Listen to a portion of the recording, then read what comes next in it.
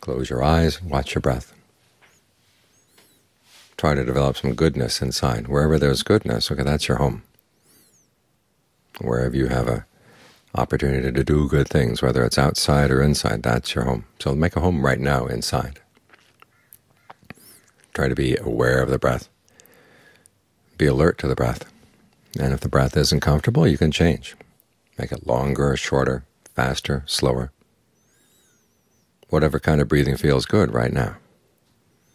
This way you give the mind a home. So wherever you go, you feel at ease, you feel at home. This is your place. And then we've got goodness inside like this, it's a lot easier to do good outside as well.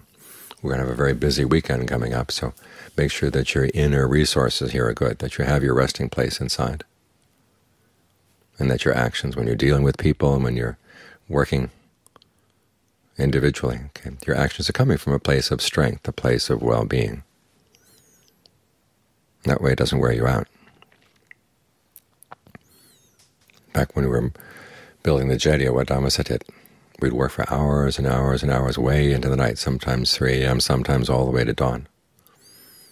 And people noticed that as long as they were staying with their breath, didn't wear them out. As soon as they stopped meditating, started chatting with this person, chatting with that person, letting their minds wander all over the place, okay, then they were worn out. They couldn't work. But the work goes well when you're coming from a good center because you're constantly producing energy inside with your concentration, with your mindfulness. So how to this inner generator going, the humming away inside. And you feel it's secure, you feel well settled right here. Okay, that's a position of strength.